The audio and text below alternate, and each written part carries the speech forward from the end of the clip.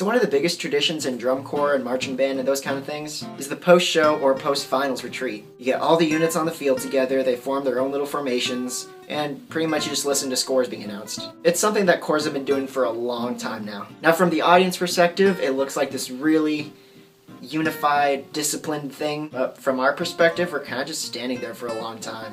And if you ever wonder what goes through our heads, is probably as accurate as it's gonna get.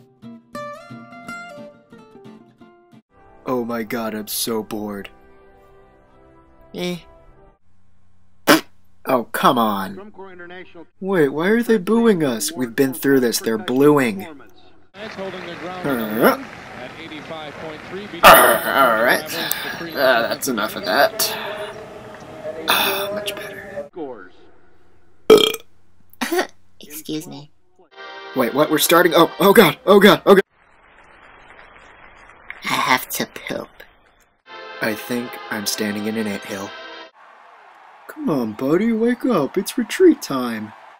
Wow, I wish I could see the drum major. Wow, I feel bad for people who can't see the drum major. Merga. Dude, the guys in the corps next to us are speaking Japanese. Shh, it's freaking me out, man. Alright, suit yourself. Oh, look, TV. No, don't look. But, but TV. Oh no, my balloons! Bloom, bloom, bloom. Bloomy, bloom, bloom. Wait, how's this song go? No, I'll just play the tonic.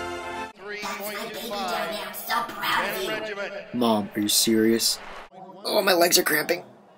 Ah, that's better. Be strong, Clarence. Be strong for Mother.